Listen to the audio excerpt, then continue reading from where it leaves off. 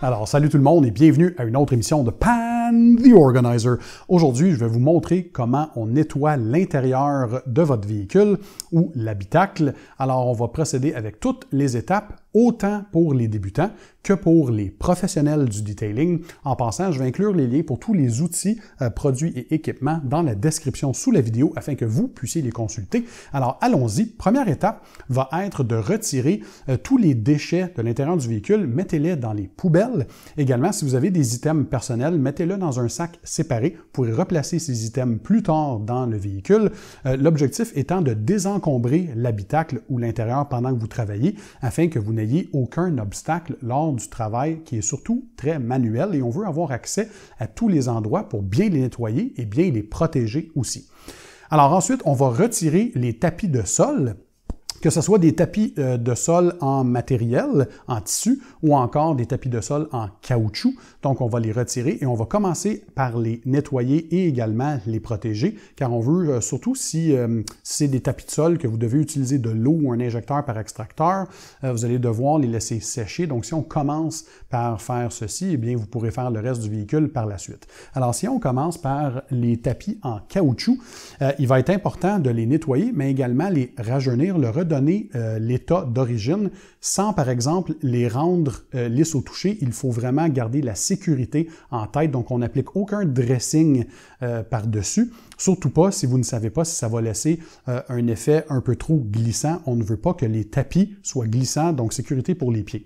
Alors, un produit comme le Mickey's 37 Floor Mat and Cargo Liner Rejuvenator, ce produit va nettoyer et également restaurer, si on veut, l'aspect d'origine de vos tapis, donc cet aspect un peu noir comme neuf.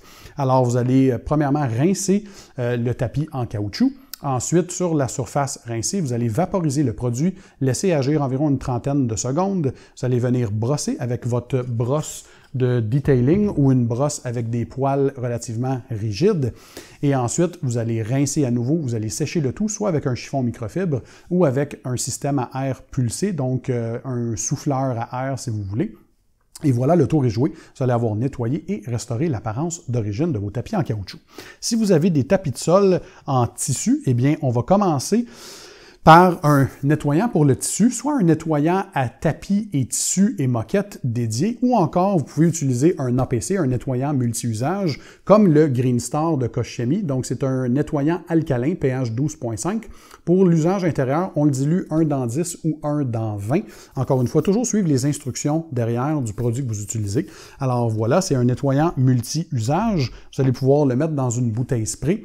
Premièrement, avant d'utiliser les produits chimiques sur les tapis de en tissu, vous allez passer l'aspirateur pour retirer la plupart de la poussière et des débris sur les tapis et ensuite vous allez vaporiser le nettoyant comme tel. Euh, vous pouvez également utiliser des nettoyants à tapis et moquette et également euh, à tissu si vous avez des sièges en tissu. Quelque chose comme le PNS Carpet Bomber. Donc c'est un nettoyant vraiment dédié très puissant. On vient vaporiser sur la surface et on agite de plusieurs façons, soit avec une brosse à tapis, moquette et tissu, donc une brosse comme celle-ci avec des poils plutôt doux. Vous allez procéder à l'agitation. Vous pouvez utiliser des plus petites brosses de detailing également. Ou si vous avez une perceuse visseuse, vous pouvez utiliser ce qu'on appelle un drill brush attachment.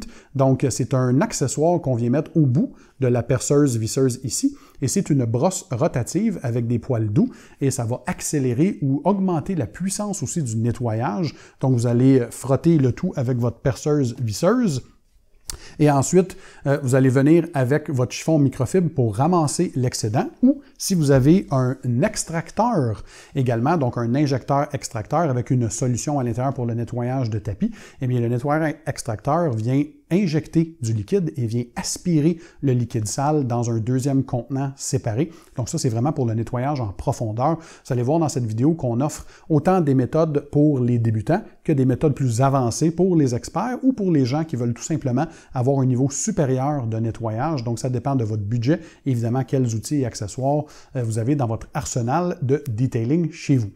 Donc vous, avez, euh, vous pouvez utiliser l'extracteur, vous pouvez également utiliser un nettoyeur à vapeur. Donc c'est toujours euh, des produits qui aident, ou des équipements, je devrais dire, qui aident à avoir un nettoyage plus en profondeur, dépendamment de l'état hein, de la saleté des surfaces avec lesquelles vous travaillez. Donc, vous pouvez utiliser le nettoyeur à vapeur pour injecter cette vapeur sur la surface. Ça aide également à assainir les surfaces et désinfecter un peu.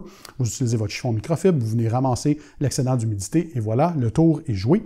Et pour protéger les tapis maintenant qui sont propres euh, et lorsqu'ils sont en tissu, vous pouvez utiliser un protecteur à tissu moquette et également tissu sur les sièges comme le Sequartz Fabric 2.0 de Carpro. Propriété anti-UV, donc anti-vieillissement, mais surtout des propriétés euh, super hydrophobes qui rendent le nettoyage beaucoup plus facile lors des lavages d'appoint euh, et également vous allez avoir euh, de la protection contre les rayons UV, donc encore une fois contre le vieillissement. Il existe aussi la compagnie 303 euh, qui fait le Fabric Guard. Donc euh, essentiellement, c'est un, protecteur pour les tissus et les moquettes. Ensuite, quels autres outils? On va passer une fois que les tapis sont nettoyés, à euh, nettoyer les montants et les seuils de porte. Donc, ce sont des endroits souvent oubliés par les gens lorsqu'ils font le detailing de leur véhicule. Donc, ouvrez vos portières et regardez les seuils de porte et les montants de porte. Vous allez pouvoir utiliser euh, soit un nettoyant multi-usage. Encore une fois, n'oubliez pas, nous avons déjà un nettoyant multi-usage que nous avons dilué dans une bouteille spray euh, pour l'usage. Vous allez commencer par pré-rincer avec votre nettoyeur haute pression. Ces endroits-là, ne vous inquiétez pas s'il y a un peu d'eau qui éclabousse dans le véhicule, vous allez la ramasser de toute façon dans les étapes ultérieures. Ensuite, vous vaporisez votre nettoyant multi-usage. Vous pouvez agiter avec une brosse de detailing ou une vieille brosse à dents ou peu importe euh, quel outil que vous voulez pour agiter le tout à la surface. Ensuite, vous venez rincer à nouveau. Et une fois que la surface est encore mouillée, petit truc et astuce de pro, utilisez un scellant qu'on vaporise et qu'on rince, un peu comme Gion Wet Coat. Donc, vous vaporisez sur la surface mouillée, vous rincez à nouveau. Ça va donner un effet hydrophobe et des propriétés auto-nettoyantes rendant les lavages subséquents beaucoup plus faciles à l'avenir, en plus de donner un peu de lustre et d'aspect lisse au toucher, tout comme la carrosserie. Donc, la même chose pour les montagnes et seuils de porte. N'oubliez pas aussi les montagnes et seuils de porte de votre valise à l'arrière. Vous pouvez également utiliser un nettoyeur à vapeur pour les montants et seuils de porte. Si vous avez vraiment de la saleté qui est incrustée, vous pouvez vaporiser euh, avec le nettoyeur à vapeur et essuyer avec un chiffon microfibre et voilà, le tour est joué. Ensuite, on va passer à l'intérieur. Donc, on commence encore une fois par le haut pour aller vers le bas à la fin, le ciel de toit. Si vous avez certaines tâches tenaces, vous pouvez vaporiser un peu d'APC, le nettoyant multi-usage, euh, ou encore une fois, euh, ben, oui, le, nettoyant multi-usage ou le même nettoyant à tissu et à moquette. Soyez très, très délicat dans cette opération. On ne veut pas trop saturer la surface en liquide, car le ciel de toit, il y a une colle qui colle le tissu au toit. Donc, on veut empêcher de saturer ça d'eau, car ça pourrait faire en sorte que la colle va, décoller et voilà, votre ciel de toit va être tout simplement pendant ou lousse euh, dans le véhicule. Donc, on ne veut pas faire ça. Quelques petites vaporisations. On brosse avec une brosse légère, donc de, de detailing à poil doux. On vient essuyer avec un chiffon microfibre et voilà, le tour est joué. Ensuite, on va passer à l'étape de dépoussiérage de l'intérieur. Pour ce faire, vous avez plusieurs options. Vous allez utiliser des brosses de detailing à poil doux qui sont également bonnes pour les surfaces euh, lustrées ou laquées noires ou peu importe les surfaces dans le véhicule. Donc, allez-y dans tous les petits raccoins et les endroits, incluant dans les bouches d'aération ou les buses de ventilation. Donc, toutes ces craques, vous allez vouloir les épousseter. Petit truc aussi, gardez une buse de votre aspirateur non loin de la brosse. Donc comme ça, quand vous brossez la poussière, vous allez l'envoyer directement dans la buse de l'aspirateur et ça évite que cette poussière se retrouve partout. Il se vend également des petites brosses dédiées pour les buses d'aération, un peu comme un cure-oreille, mais avec un embout ici en mousse qui est très facile de rentrer à l'intérieur des, des buses de ventilation. Si vous avez un compresseur à air, un outil que j'adore pour l'intérieur, euh, c'est le Tornador, donc celui-ci, et qui s'appelle le Air Blowout Tool.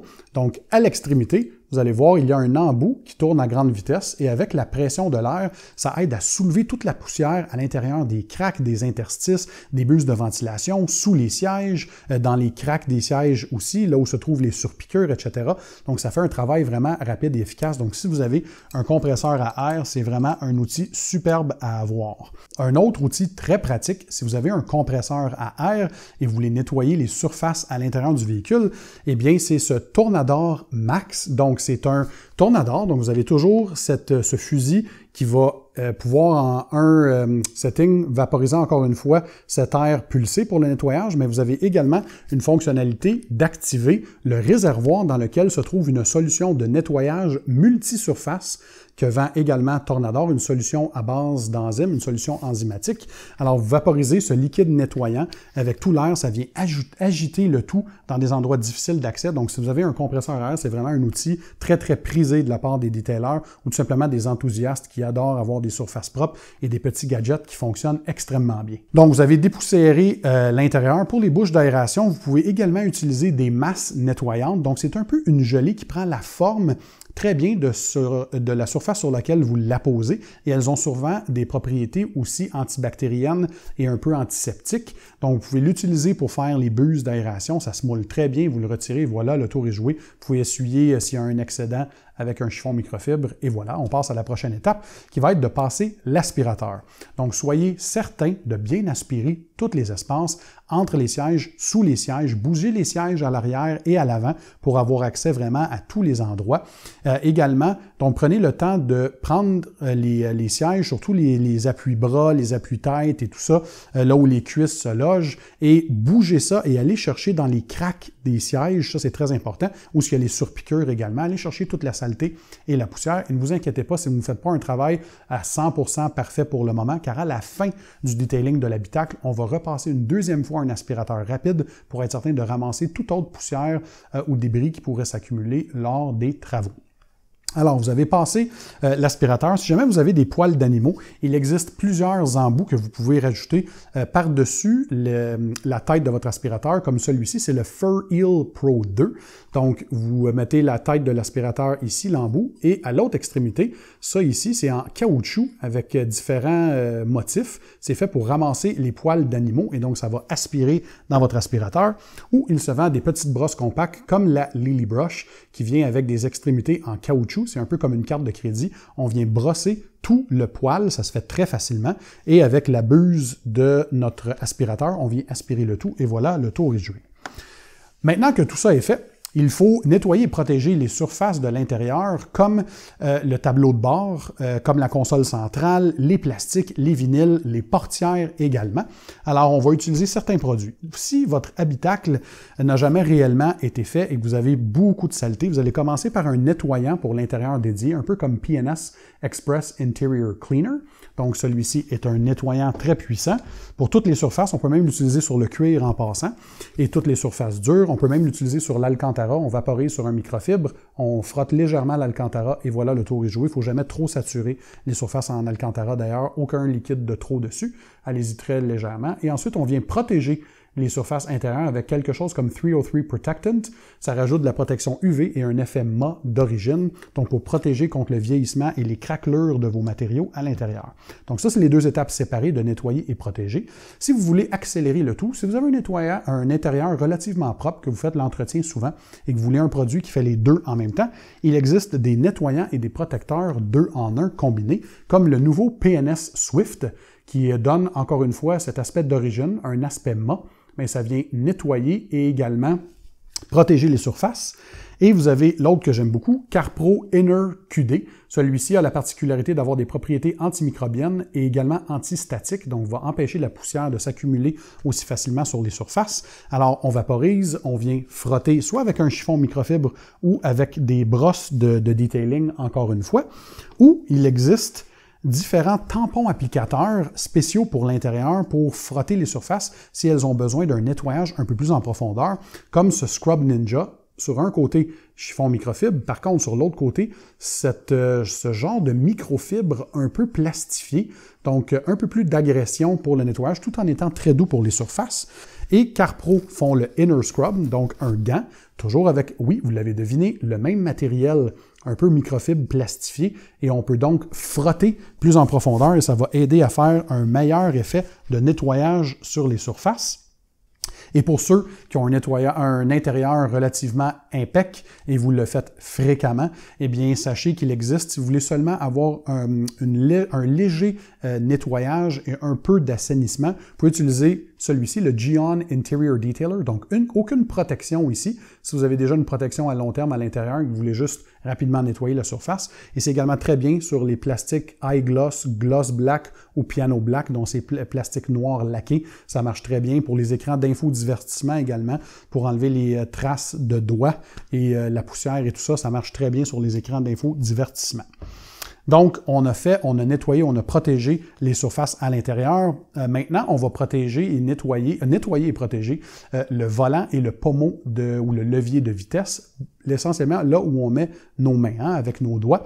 Alors pour ce faire, on va utiliser dans ce cas-ci, si on parle des volants en cuir ou en vinyle, vous pouvez utiliser les mêmes produits pour le cuir et pour le vinyle, ça ne dérange pas.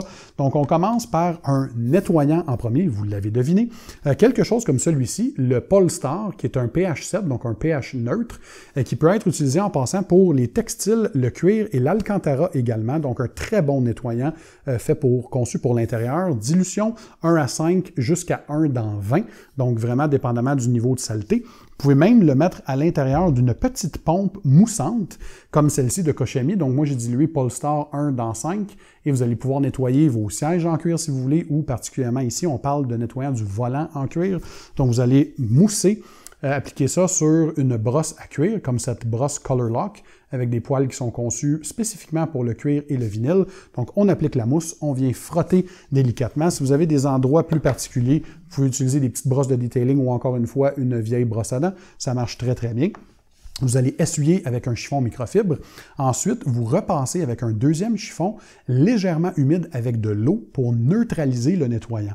Donc, la même chose s'applique lorsque vous utilisez un APC sur des surfaces à l'intérieur de votre véhicule. Il faut toujours neutraliser le produit chimique avec un deuxième chiffon seulement humide avec un peu d'eau. Donc, ça vient retirer le produit chimique et ça l'empêche la saleté d'être réactivée ou de rester sur la surface. Donc, n'oubliez jamais ça. Et là, une fois que cette surface, donc, elle est euh, nettoyée et neutralisée, il faut, vous l'avez deviné, la protéger. Donc, pour le cuir, j'aime beaucoup euh, Koch Chemi Leather Star. Donc, c'est un protecteur pour le cuir, aussi bon aussi pour le vinyle, si vous voulez. Celui-ci a la particularité euh, d'être très liquide, donc on l'applique sur un tampon mousse et on vient appliquer sur la surface, dont le volant dans ce cas-ci, ou si vous avez des bancs en cuir qui sont ventilés perforé et climatisé, eh bien, ça l'empêche, contrairement à une crème qui pourrait bloquer les, les, pores ou les trous sur les bancs ventilés, eh bien, celui-ci s'applique très facilement en superficie et ne va pas boucher les pores ou les, les trous qui sont dans vos euh, sièges de cuir. Alors, voyons, on a nettoyé et on a protégé le volant. J'ai plusieurs vidéos en passant sur ma chaîne. Si vous voulez aller plus en profondeur sur un des sujets que j'ai discuté aujourd'hui, j'ai des centaines de vidéos et tutoriels, donc euh, ne soyez pas gênés après cette vidéo, allez consulter les vidéos si vous voulez plus de détails. Donc, on a fait le volant et le pommeau de la même façon aussi. Ensuite, on va passer au nettoyage, des sièges. S'ils sont en vinyle ou en cuir, un peu le même principe. Vous pouvez utiliser le Polestar et le Leather Star ou une autre compagnie que j'aime beaucoup. C'est Geist, ils sont spécialisés pour les produits de cuir. Donc ici, on a le nettoyant qui est le Rapid Leather and Vinyl Cleaner. On vaporise et on brosse et on essuie avec un chiffon microfibre. Et ensuite, on a le Dye and Friction Blocker, donc le, deuxième élément, qui est un scellant qui dure 2 à 3 mois euh, et vient protéger contre les craquelures, contre le vieillissement, euh, contre l'effet de friction lorsqu'on rentre et on sort du véhicule. Bref, ça l'empêche le vieillissement du cuir et ça le protège et ça le rend surtout beaucoup plus facile à nettoyer lors des lavages d'appoint.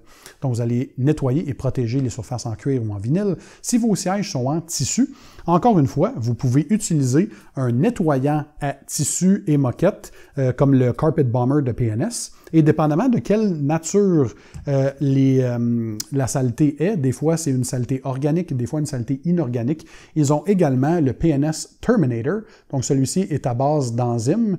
Donc, vous pouvez les utiliser les deux en combinaison. Vous vaporisez les deux. vous vaporisez le premier, vous brossez, vous vous agitez, vous vaporisez le deuxième, vous vous agitez et vous frottez.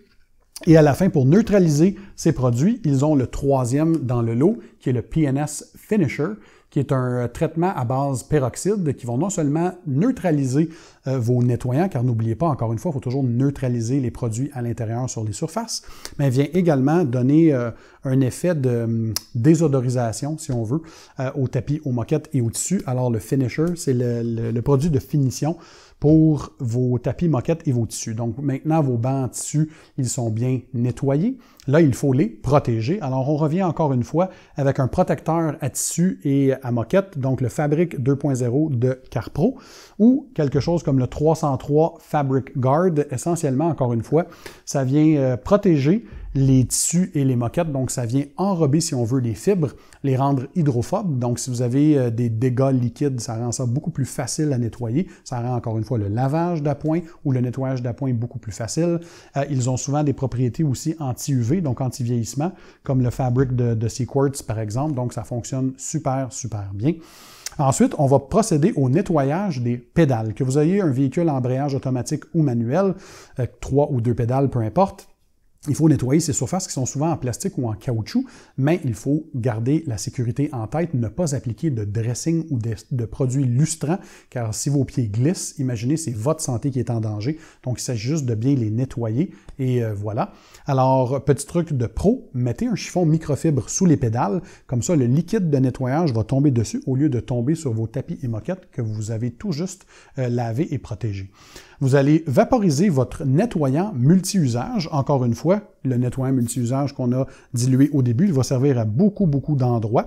Ou vous pouvez utiliser quelque chose comme le Geon Interior Detailer que vous vaporisez et ensuite vous frottez avec votre brosse de detailing ou encore une fois une vieille brosse à dents. Ça aide à rentrer dans les cracks et les petits designs spécifiques des fois sur euh, les pédales. Vous essuyez avec un chiffon microfibre et voilà, le tour est joué pour les pédales. Ensuite, euh, on va procéder au nettoyage des vitres. Donc, on garde ça plutôt vers la fin pour être certain de faire un bon, euh, un bon lavage. Plusieurs personnes pense souvent que laver les vitres, c'est seulement d'utiliser un bon nettoyant vitre et voilà, le tour est joué. Non. Particulièrement pour l'intérieur, la majorité de vos surfaces à l'intérieur, que ce soit les plastiques, les vinyles, les caoutchoucs et euh, le cuir et autres matériaux, eh bien, ils contiennent des produits chimiques qui émanent ou évaporent un peu de, gaz et ces gaz forment un film sur la surface intérieure des vitres. Ce film accumule de la saleté, euh, du gras euh, et des huiles corporelles, etc au fil du temps. Et lorsque vous conduisez, surtout lorsque vous avez les effets de lumière le soir, vous avez souvent l'impression qu'il y a un film qui masque un peu tout ça et ça accumule aussi beaucoup plus euh, la moisissure, pas la, moisissure, pardon, le, niveau d'humidité à l'intérieur, le fog, comme on dit en, anglais, ou l'embuement, ou, ou, la buée. Alors, pour euh, empêcher la buée de se former et d'avoir un verre très cristallin, il faut d'abord dégraisser le verre. Pour ce faire, vous pouvez utiliser, encore une fois, l'APC que vous avez mélangé, ou vous pouvez utiliser du liquide vaisselle dilué euh, dans un peu d'eau chaude. Vous allez prendre un chiffon microfibre ou une tête spéciale d'un outil que la compagnie Stoner fait, qui est en forme de triangle pour aller dans les raccoins euh, plus facilement. Alors vous allez frotter la surface, vous allez essuyer tout ça, et là vous avez dégraissé la surface, donc vous avez retiré ce film ou cette pellicule de produits chimiques. Et là, le verre, il est cristallin. Et là, vous allez revenir et faire un deuxième passage avec votre nettoyant pour vitres, comme le Stoner Invisible Glass, un de mes nettoyants vitres préférés. Celui-ci ne contient pas d'ammoniac, donc il est sécuritaire pour être utilisé sur les vitres teintées, donc ne causera aucun problème.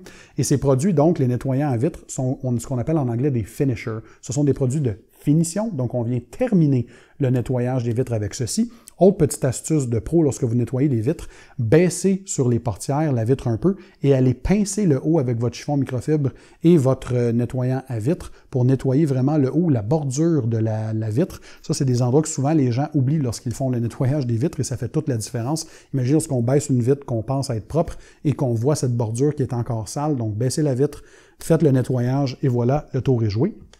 Et comme dernière, dernière touche de finition, vous allez revenir avec un aspirateur, donc à la fin, pour être sûr de ramasser toute petite saleté ou poussière qui se serait incrustée à la fin de vos travaux. Donc un aspirateur rapide de retouche. Et le NEC Plus Ultra, on vaporise un, euh, en anglais on appelle ça un air freshener, un désodorisant pour l'habitacle. Évidemment, il en existe des myriades de choix de différentes compagnies.